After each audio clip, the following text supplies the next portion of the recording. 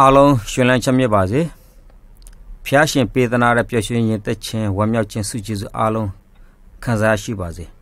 ဒီနေ့မှာတော့နောက်ဆုံးသောနေ့ရက်ဆိုင်ရာအဖြစ်ပြက်များထက်ကကျွန်တော်ဝမ်းမြောက်စရာကောင်းတဲ့ခေါင်းစဉ်လေးတစ်ခုနဲ့အတူကျွန်တော်တို့လေ့လာသွားမှာဖြစ်ပါတယ်အဲ့ဒီခေါင်းစဉ်လေးကတော့အသင်းတော်နဲ့အတူဖျားသခင်သည်အတူရှိတော်မူသည်ဒါဝမ်းသာစရာတစ်ခုလည်းဖြစ်တယ်ဘာကြောင့်လဲ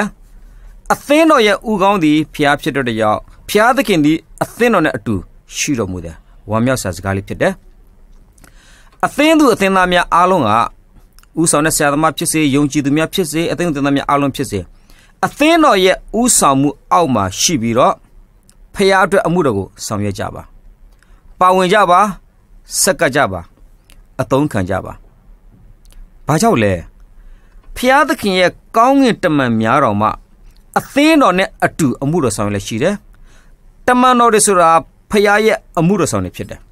။လောကကမ္ဘာကြီးမှာကျွန်တော်တို့ကိုကူညီထောက်မဖို့အတွက်လည်းကျွန်တော်တို့ကိုဆေလွတ်ထားပြီးသားဖြစ်တယ်။ဖျားသခင်ရဲ့ကောင်းကင်တမန်တော်မှာဖျားသခင်ရဲ့အမှုတော်မှာပါဝင်လက်တွဲလှုပ်ဆောင်မှာဆိုလို့ရှိရင်ဖျားသခင်ကိုချစ်တဲ့ယုံကြည်တဲ့ကျွန်တော်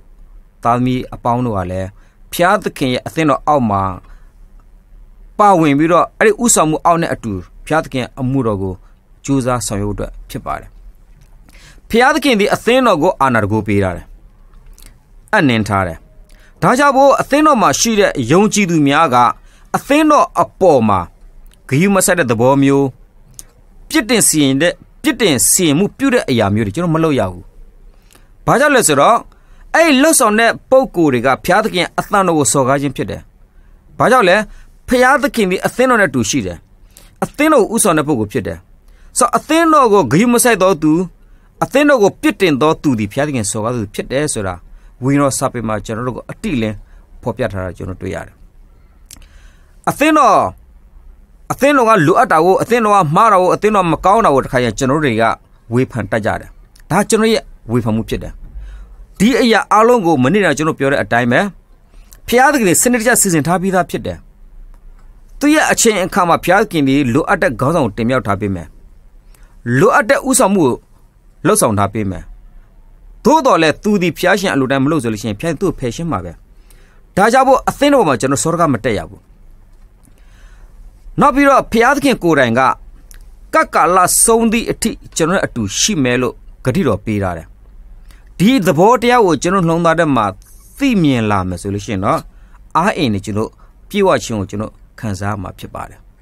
ဒါကြောင့်ဘုရားသခင်အသင်းတော်အတူရှိတယ်ဆိုတာဘလောက်ဝမ်းမြောက်စရာကောင်းပါတယ်လေဒီနေ့ကျွန်တော်တို့ဘုရားသခင်ကျွန်တော်အတူရှိတော့ကျွန်တော်ဝမ်းမြောက်ခြင်းတွေက